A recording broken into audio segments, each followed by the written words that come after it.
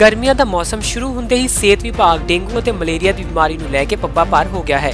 ਵਜ੍ਹਾ ਹੈ ਪਿਛਲੇ ਸਾਲਾਂ ਵਿੱਚ ਡੇਂਗੂ ਦੀ ਬਿਮਾਰੀ ਨਾਲ ਜ਼ਿਲ੍ਹੇ ਵਿੱਚ ਹੋਈਆਂ ਮੌਤਾਂ ਅਤੇ ਇਸ ਦੇ ਚੱਲਦੇ ਸਿਹਤ ਵਿਭਾਗ ਵੱਲੋਂ ਅੱਜ ਕੌਮਾਂਤਰੀ ਮਲੇਰੀਆ ਦਿਹਾੜੇ ਮੌਕੇ ਸ਼ਹਿਰ ਵਿਖੇ ਨਗਰ ਨਿਗਮ ਮੁਲਾਜ਼ਮਾਂ ਦੇ ਨਾਲ ਰਲ ਕੇ ਲੋਕਾਂ ਨੂੰ ਜਾਗਰੂਕ ਕਰਨ ਦੇ ਵਾਸਤੇ ਰੈਲੀ ਕੱਢੀ ਗਈ ਅਤੇ ਲੋਕਾਂ ਨੂੰ ਇਸ ਨਾਮੁਰਾਦ ਬਿਮਾਰੀ ਬਾਰੇ ਜਾਗਰੂਕ ਵੀ ਕੀਤਾ ਗਿਆ। ਸਿਹਤ ਵਿਭਾਗ ਵੱਲੋਂ ਕੱਢੀ ਗਈ ਇਸ ਰੈਲੀ ਦੇ ਚੱਲਦੇ ਵਿਭਾਗੀ ਅਧਿਕਾਰੀ ਦੇ ਨਾਲ ਨਿਊਜ਼ ਨੰਬਰ ਟੀਮ ਨੇ ਗੱਲਬਾਤ ਕੀਤੀ।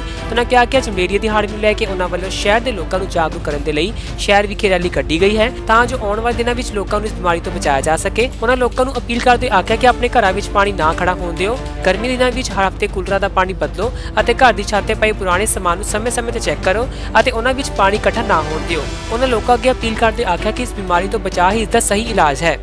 ਜੀ, ਅੱਜ ਵਰਲਡ ਮਲੇਰੀਆ ਡੇ 25 ਅਪ੍ਰੈਲ ਵਿਸ਼ਵ ਵਿੱਚ ਮਨਾਇਆ ਜਾਂਦਾ ਹੈ ਤੇ ਇੰਡੀਆ ਵਿੱਚ ਵੀ ਅਸੀਂ ਮਨਾ ਰਹੇ ਹਾਂ। ਇਸ ਵਾਰ ਦਾ ਥੀਮ ਹੈ zero malaria starts with me ਕਿ ਅਸੀਂ ਸਭ ਤੋਂ ਪਹਿਲੇ ਆਪਣੇ ਤੋਂ ਆਪਣਾ ਸਟਾਰਟ ਕਰਨਾ ਹੈ। ਇਹਦੇ ਵਿੱਚ ਹਰੇਕ ਨੂੰ ਜਦੋਂ ਵੀ ਲੱਗੇ, ਉਹਨੂੰ ਬੁਖਾਰ ਹੋ ਰਿਹਾ ਫੀਵਰ ਹੋ ਰਿਹਾ ਤੇ ਉਹ ਆਪਣਾ ਚੈੱਕਅਪ ਕਰਾਏ। ਇਹਦੇ ਮਲੇਰੀਆ ਲਈ ਅਸੀਂ ਬਲੱਡ ਸਲਾਈਡ ਬਣਾ ਕੇ ਦੇਖਦੇ ਹਾਂ ਕਿ ਉਹਨੂੰ ਮਲੇਰੀਆ ਵਾਲਾ ਬੁਖਾਰ ਤਾਂ ਨਹੀਂ ਹੈ। ਤੇ ਇਹਦੇ ਨਾਲ ਨਾਲ ਅਸੀਂ ਪ੍ਰੀਵੈਂਸ਼ਨ ਵੀ ਬਾਰੇ ਵੀ ਜ਼ਿਆਦਾ ਜ਼ੋਰ ਦੇਣਾ ਚਾਹੁੰਦੇ ਹਾਂ। ਕਿ ਆਪਣਾ ਆਪਣਾ ਆਲਾ ਦੁਆਲਾ ਤੇ ਆਪਣੇ ਆਪਣੇ ਘਰਾਂ ਦੀ ਸਫ਼ਾਈ ਰੱਖਣ, ਪਾਣੀ ਦੀ ਕਲੈਕਸ਼ਨ ਨਾ ਹੋਏ, ਜਿੱਥੇ ਕਿ ਮਸਕੀਟੋ ਦੀ ਬਰੀਡਿੰਗ ਹੁੰਦੀ ਹੈ। ਸੋ ਇਹਦੇ ਵਿੱਚ ਸਹਿਯੋਗ ਆਪਣੇ ਤੋਂ ਸਟਾਰਟ ਹੋ ਕੇ ਫਿਰ ਸੁਸਾਇਟੀ ਵੱਲ ਜਾਣ। ਇਹੀ ਸਾਡੀ ਅੱਜ ਦੀ ਥੀਮ ਹੈਗਾ ਵਰਲਡ ਮਲੇਰੀਆ ਡੇ ਦਾ। Sir, civil surgeon doctor Nayana Slathia ਦੇ ਹੁਕਮ ਤੇ ਅੱਜ ਜਿਹੜਾ ਅਸੀਂ ਮਲੇਰੀਆ ਡੇ 25 ਅਪ੍ਰੈਲ ਨੂੰ ਪੂਰੇ ਵਿਸ਼ਵ ਭਰ ਦੇ ਵਿੱਚ ਮਨਾਇਆ ਜਾ ਰਿਹਾ। ਸਾਡਾ ਅੱਜ ਇੱਥੋਂ ਸ਼ੁਰੂਆਤ ਆ ਪਹਿਲਾਂ ਅਸੀਂ ਰੈਲੀ ਕਰਾਂਗੇ।